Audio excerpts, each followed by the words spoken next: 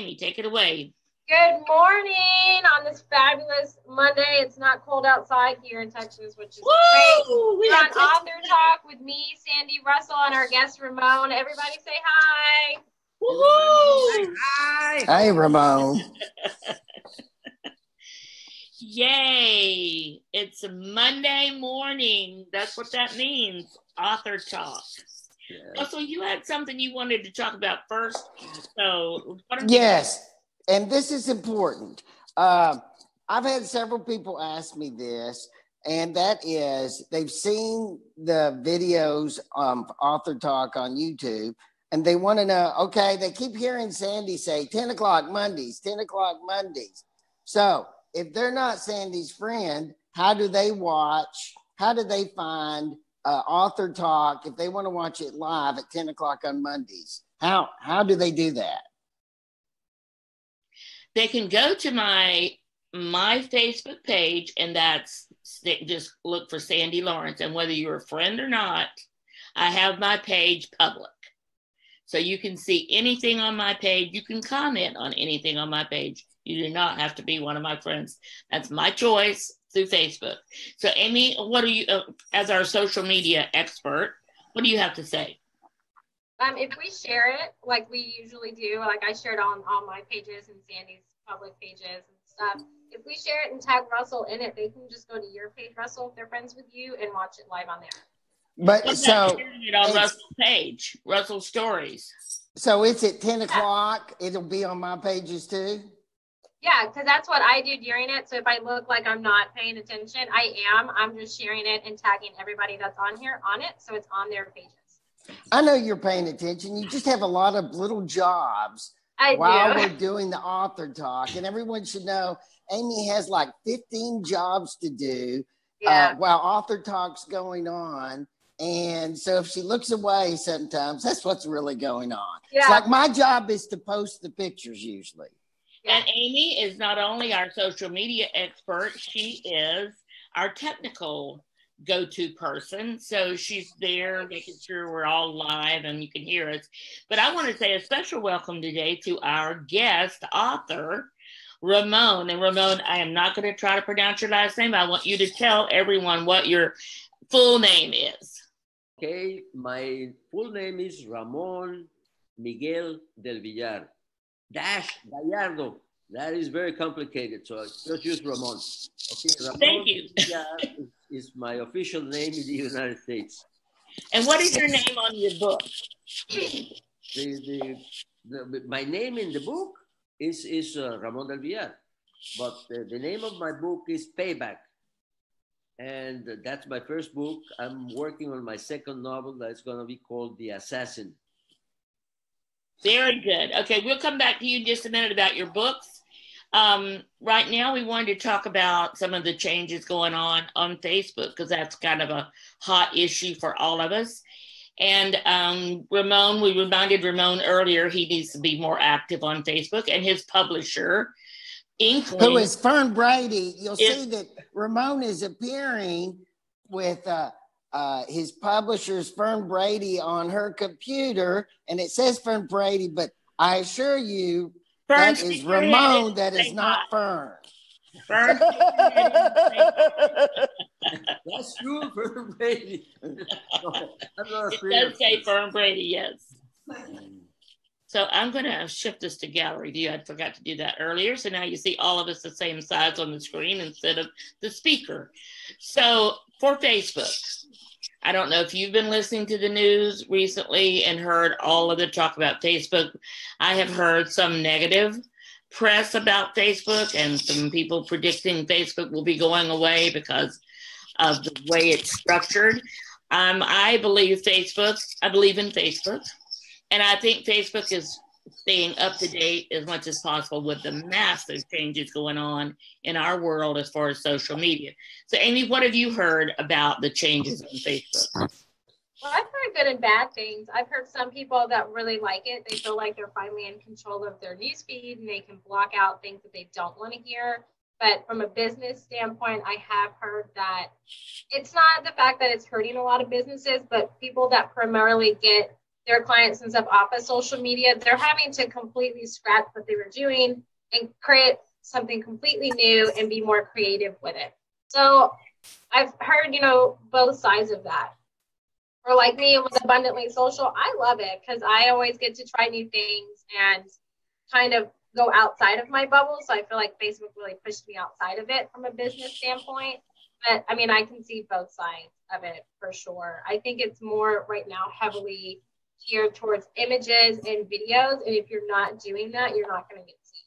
That's the results that I've had in the new changes so far. So that's really all I can say about it.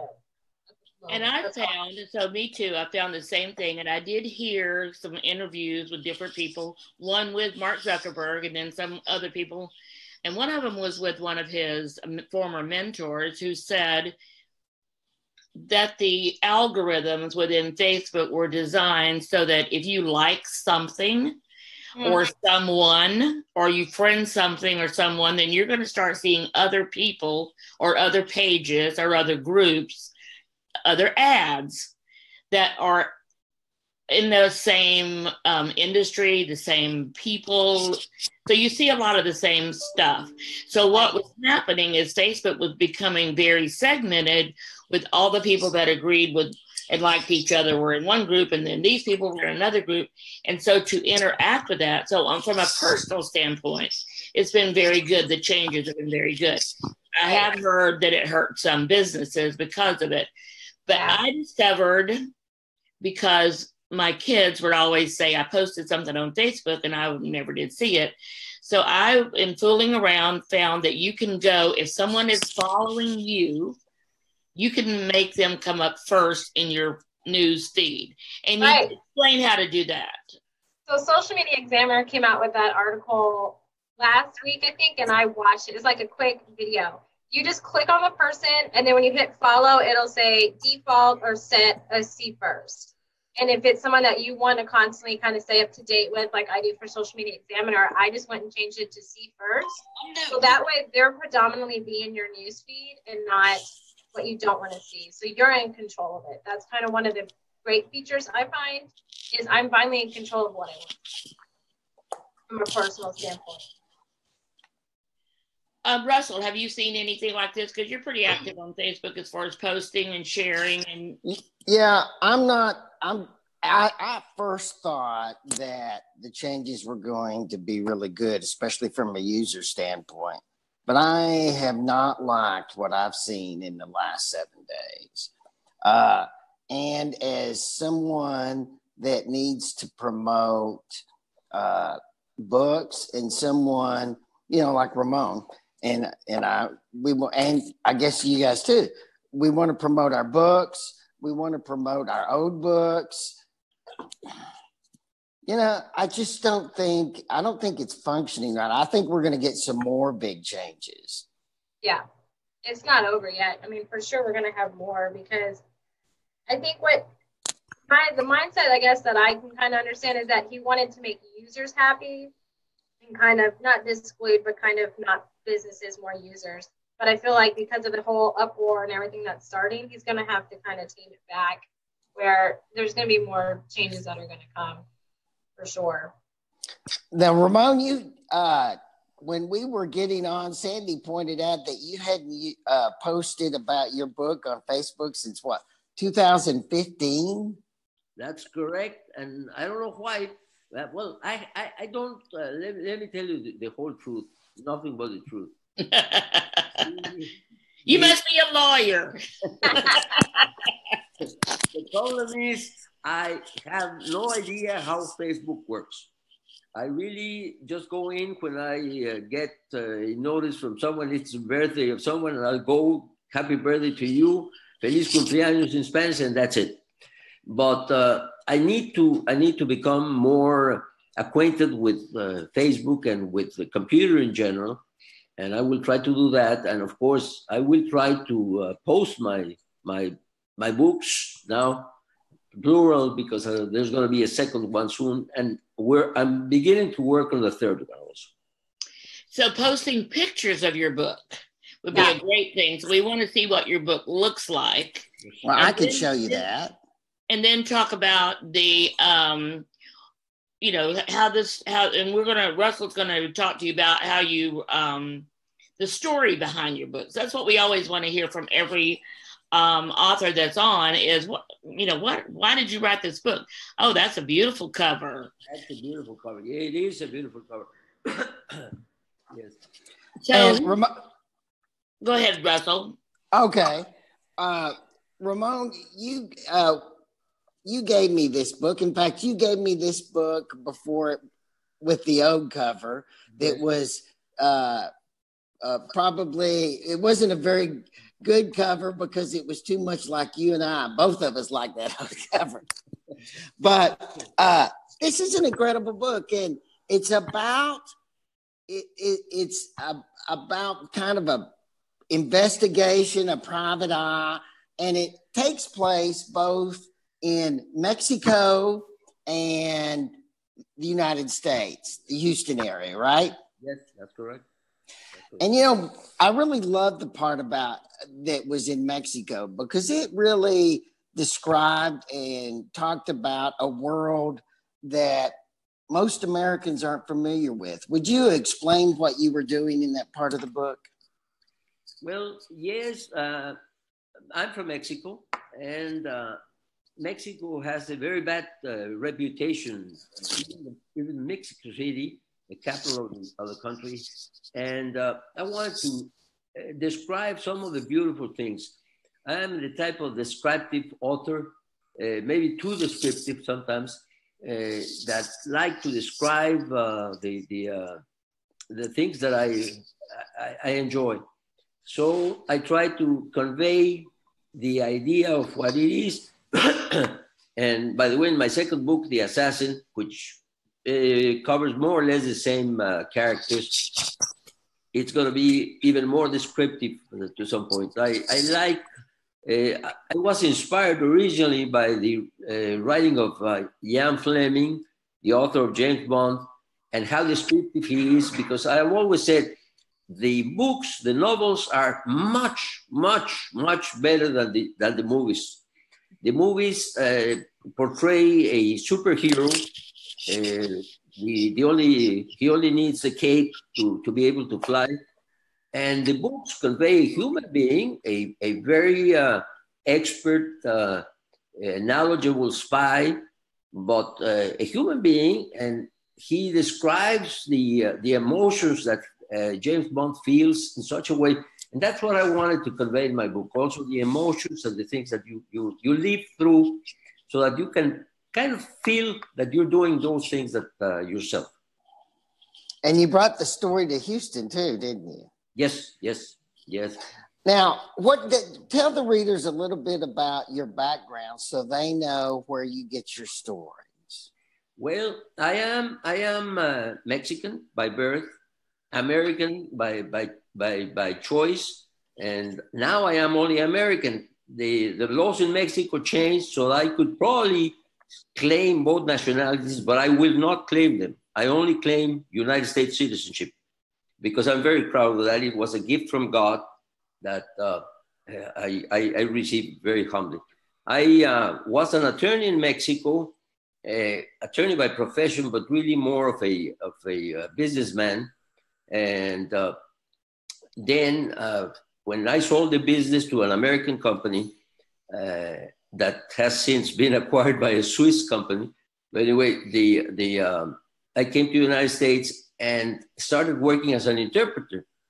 And I very quickly will want, want to tell uh, a little story because I, I, had told my wife, who was Miss Mexico, Miss Mexico City in 1972. It's very pretty. And to, to be able to, to con- conquer her, I uh, told her, you know, you don't have to worry about uh, being supported because I can support you as a businessman, as an attorney, as a professor of karate, as a pilot, because I, I was all those things.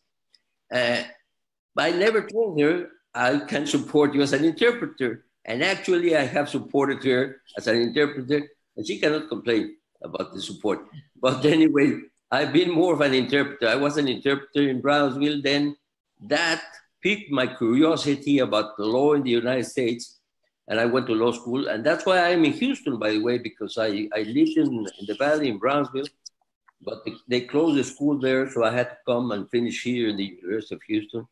And I became an attorney here in 1993. It's unbelievable to, be, to say that I've already been an attorney in May. Uh, it will be for 25 years. Now, uh, what's, why did you Ramon, why did you wait so long? And I get this too. Why did you wait so long to write your first book? Well, actually, I didn't wait that long. I wrote the, uh, the, the novel in '93. Actually, I started writing it before I, I had the license as an, as an attorney. And uh, of course, it was inspired by my own experiences. Uh, I've worked for the court, uh, federal court, uh, I worked for 25 years here and five years that I worked in, in Brownsville, 30 years of experience in the federal court. And I've seen an awful lot of action in the, in the courtroom. And uh, so many uh, stories that are really very, very uh, interesting and intriguing. And I wanted to, to put them in a book. And of course, one, one of the things that I want to say is everything that happens in my novel has already ha- has happened in, in reality. Of course, I have not been the participant uh, in, in all of those things, but uh, I have seen those things or I've been told by, by person with first, first, first-hand knowledge of, of those things. Okay, okay. I want to move on to another subject that we discuss here because this is author talk. So uh, I wanted to talk. I wanted to ask you a little bit about what are the promotional plans that you have you mentioned your new book that's coming out. You've already finished it. It's in the editing phase. It's called Assassin, right? Yes, that's correct. Uh, what's your what is your plans for promoting the book? Well, that's a good question.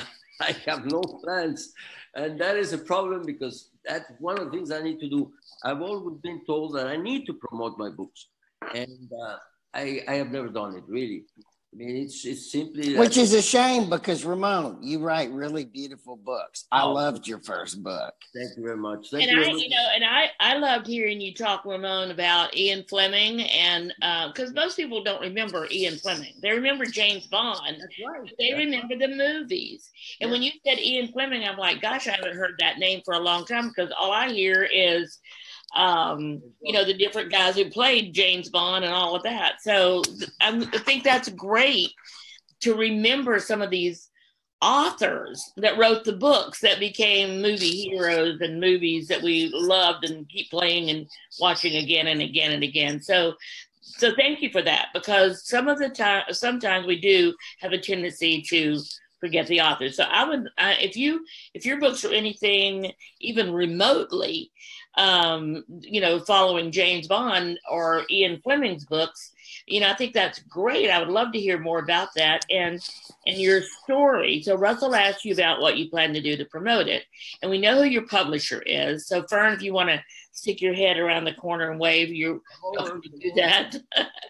so um, you have a great story and we should have Fern. We need to have his story somewhere. Uh, she didn't on the website or something because that's. A, I'm sorry. Well, we need to get that out there because, well, first of all, the the big secret, which is not really a secret, is that Ramon Del Villar is my dad, right? And so we love him, and you know, uh, his books are amazing. And they are. I love them. They are. She's my daughter. No, no. Well, I know, but I'm not your daughter. I'm more, I'm not I'm not pretty enough to be your daughter. I got to tell you, the, the, you're not the, even his son. right. And he, I, I tried to get you to Ramon. I tried to get you to talk about, and I'm going off the subject. I'm sorry, Sandy, for a second, but I tried to get you to talk about the, one of the things I love most about your first book, Payback, was you explain some of the business culture and subculture of Mexico and what is understood that you're supposed to do and not do and the order you're supposed to do it. I just love that stuff. That's like a travel log. The first part of your book is a travel log, and I loved it. Well, let me tell you, that is very important because I have uh, had the experience, personal experience, of people who have told me, you know, I, I, I wanted to do business with so and so, an American uh, businessman, and I didn't do it because he wasn't really respectful. He didn't. what, happens, what happens in the mafia, you know? He he uh, he didn't respect me. He didn't uh, give me the attention. And it's not that. It's that uh, we Americans are very practical. We want to go to the point. Okay, this is this is the basics of the thing, and I'm going to do it. And in Mexico, you have to elaborate and you have to follow certain rituals, I would call them even, to, to be able to reach a point in which you can negotiate. Be- before that, it would be discourteous, it would be in bad taste, and people, some people would say, I'm not going to do it. So that is that is the reason why. And you put and you communicate that in your book. Yes, Sandy. Uh, uh, Oh, I think so. One of the things, based on what this this conversation is, for anybody, and I know we're author talk, we're talking about authors and books, but businesses need to understand the culture of the people they're doing business with. Absolutely. That's exactly what we teach as far as marketing. It's understanding the culture or the likes and dislikes or the preferen- preferential treatment that readers want. So you need to know who your readers are. And if your readers are coming from Mexico, do you, do you have the books in Spanish and English or just English? Just in English. And I have been asked by some friends from Mexico uh, who feel more comfortable in, in Spanish, translated to Spanish. And I have just not had time to do it, but I, I'm going to do it one of these days. That is a great thing to do. I think that would be great to do that. So is, whose chihuahuas is that? Not mine. There's not so mine. many chihuahuas. Oh, that's that's Ramon. Is that your chihuahua at your office? No, it's it, it's my two my two grand dogs. I have two grand dogs. The, the, oh. they're the children of my children, so uh, I consider them. Sa- Sandy, do we have any? Do we have any uh, questions posted on the video? I am looking, and thank you, Fern, for posting um, that Verstant. The president of Houston Writers Guild is the one that did the cover images for uh, for um, Ramon's books. So no no um, no questions. But Brenda Trot, thank you, said Fiesta to do biz. Okay, I got. Not sure, Brenda, what you meant by that. Mylene Grimm is on and said hi. So we have people on um, watching saying hello, but no specific questions for Ramon. So we're going to be on for a couple more minutes, few more minutes. So if you do have a question, you're watching and you want to ask him something about his books or about anything, just uh, about his story. So just feel free to post them on Facebook and we're watching. Aimee, if you see something before I do, interrupt us and and let us know. Russell, did you have any other questions for Ramon? I I have a hundred more questions. It's Ramon, you, but we don't have time for that. Ramon, when you figure out what your plan is for the publicity for your next book, The Assassin, will you come back on and tell us? I will be very honored and glad to do it. Yes, and, and I'm going to rely a little bit on you to help me out with the promotion because you you know how to promote your books. And, and by the way, I've already and I'm not returning the compliment. I really enjoyed your first book, and unfortunately, you haven't published another one. Well, I'm almost there. I'm almost finished the first draft. almost. Did you see I was in the paper yesterday, Sandy? Yes, I did. Did you see I shared your post? Yes, I did. And thank you, Valerie Sweeten, that was on has been on a previous podcast. Uh, I have, before we go, uh, Aimee needs to explain something. What's this that I just, that you just told me that you can program your Instagram to follow other people that use the same hashtags you do? How, what is that? Right. So you can follow people based on hashtags. So I use uh, Monday Motivation so I can just go and do a search for Monday Motivation, and whoever else is using that hashtag, I have the option to follow them. So it's a different way of networking. If you're oh, that's how you do it. But you can also just follow that hashtag, right? Yeah, you can just follow that hashtag. So whoever posts that. How hashtag, do you? What button do you push for that? you if you if you go into the search and put the hashtag you want to follow, like Monday Motivation, it brings Right. it, and you can follow it. Yeah, you I'm, just hit. I'm going to do that this morning. I can tell you that based on our conversation earlier about Facebook and all that's going on there, there are people moving to Instagram by the hundreds. How But see, about you, Facebook- Ramon? Are you Facebook moving to. Instagram? No, I haven't heard of Instagram to begin with, but I will, I will, I will ask Fern and, and join. Okay, so we're Fern, we need to educate uh, Ramon on Yes. um, social media and um, Absolutely. Fern needs to take better care of her daddy. and that gives me a chance to tell you that Aimee, who will will be ending here in just a couple minutes, but Aimee has a social media company called Abundantly Social, and she does help people with their social media. So if you need help, if anyone out there needs help with the social media, author or not author, Aimee does a great job, and she's fast. That's that's one and of all the things I love about Aimee is she can do it in a minute where it takes me like hours. So she's great at that. Um, so anything coming up this week we want to talk about, Russell, real quick before we say goodbye to Ramon and everybody else? No, except I'm real excited about Ramon's next book because he promised it would have some of that same uh, Mexico and Mexico City descriptions and discussion of their rules and unspoken rules. So I can't wait to read it. And and Ramona, I think you should talk to your publisher. Uh, you need to be doing some speaking around this whole thing about culture and books and authors and all the stuff you've been Oh, yeah. talking about. You have a great story and you have a great message for people. So we're going to look to see your name in lights coming up soon. Thank you very, very much for that. And I will. And I promise I will contact Aimee because I, I need some uh, uh, advising and counseling with respect to my, my social media life. That's great. So thank you all for joining us. This has been another author talk, and we will be posting this video to YouTube later today. Like and comment, like and comment. Thank you, Russell. So also subscribe to it. Yeah. So we want to get more subscriptions, we want to get more likes and more comments because the more you do that, the higher we go in the Google ranking on YouTube. So um, thank you all again. We'll be back next week, Monday. Um, that will be January the 29th, and we will see you then. Have a great week. Bye.